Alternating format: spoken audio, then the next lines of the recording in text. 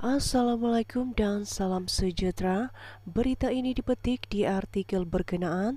Sebelum itu adalah lebih baik di subscribe dulu MPTV channel agar anda tidak ketinggalan artis-artis kesayangan anda dalam dan luar negara. Terima kasih.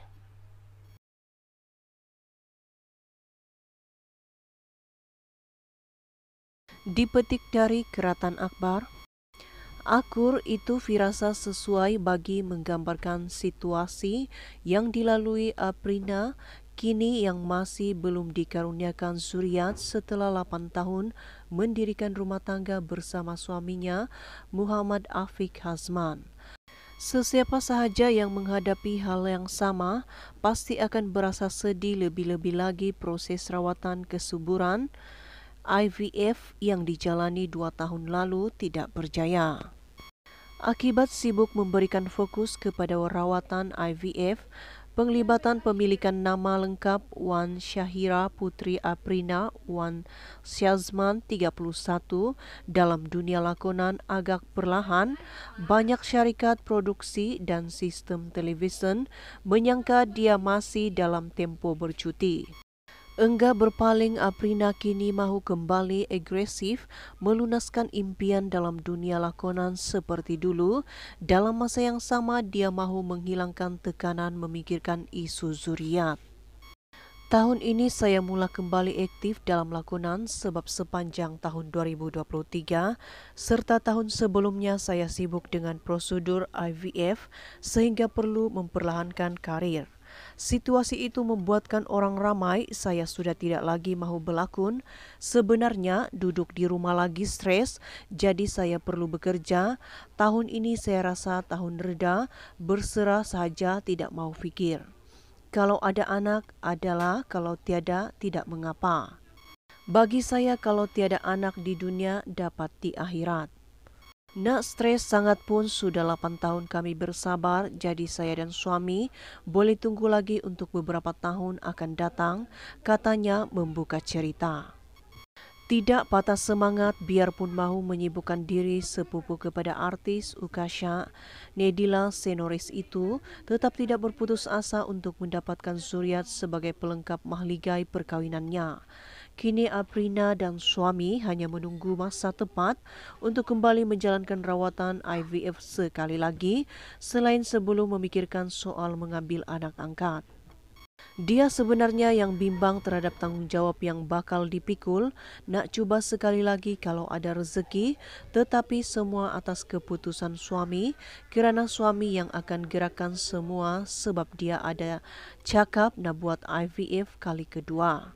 Cuma andaian masih belum ada rezeki selepas mencuba, mungkin kami akan mempertimbangkan untuk ambil anak angkat.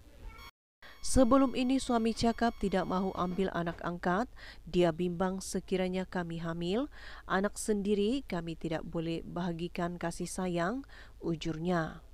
Perbualan tidak berhenti di situ pelakon berusia 30 tahun itu berkongsi pula situasi yang dilalui sepanjang melalui prosedur rawatan IVF yang syarat emosi. Masa membuat IVF saya teruja sangat nak dapatkan keputusan macam diinginkan. Bahkan apabila balik rumah saya terbaring saja semata-mata ingin memastikan prosedur itu berjaya, saya betul-betul menaruh harapan tinggi. Saya patut dengan setiap pesanan.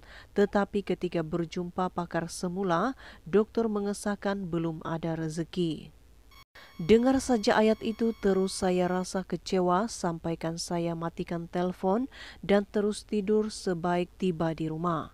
Keesokan harinya baru saya bercakap dengan suami dan kongsinya Emosi Aprina hanya kembali stabil apabila dicoba lebih memahami erti reda.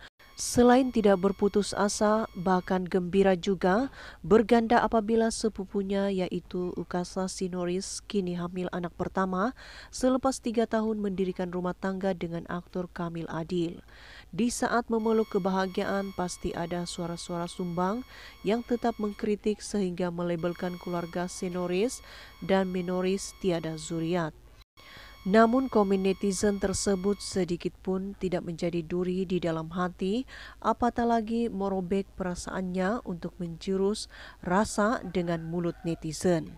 Kritik pakaian, sebenarnya netizen tujukan ayat keluarga senoris tiada zuriat, itu termasuk kepada sayalah sebab belum ada anak. Saya tidak terasa sangat dengan mulut orang kerana jenis kental dan tidak heran apa orang luar cakap cukup dengan kesokongan keluarga sahaja. Cuma kebelakangan ini saya terasa bukan soal zuriat tetapi lebih kepada bab pemakaian. Sekuat-kuat wanita pasti ada lembutnya sama seperti bintang drama tiada arah jodoh kita itu yang sukar menerima kritikan mengenai cara pemakaian. Baginya proses untuk istikam sangat sukar. Dia memohon orang ramai memberikan sokongan bukan dengan komen pedas seperti serangan dalam Instagram. Saya pula baru bertudung dalam dua ke tiga tahun jadi masih berusaha membiasakan diri dalam melalui fasa baru. Nak ubah imej bukan senang, individu sekeliling pun mainkan peranan yang mana tidak boleh cakap lepas sampai orang terasa kata anak jati Kelantan itu. Sebelum menutup bicara, Aprina turut berkongsi berita gembira bakal menunaikan umroh kali kedua seorang daripada minggu hadapan bagi mencari keterangan hati. Saya bakal mengerjakan umroh bersama Ustadz Asni. Sebenarnya nak pergi tahun lepas tetapi belum dijemput, jadi saya pergi seorang diri tahun ini. Sengaja saya pergi tanpa suami kerana perlukan masa bersendirian. Lagi pula tahun lepas bukan tahun terbaik saya, jadi hati ini perlukan ketenangan. Kita manusia biasa ada masa rasa berbolak-balik dalam semua perkara. Disebabkan itu saya kena cari agama, malah saya ada bajet lebih jadi kenapa tidak, ujurnya terujar.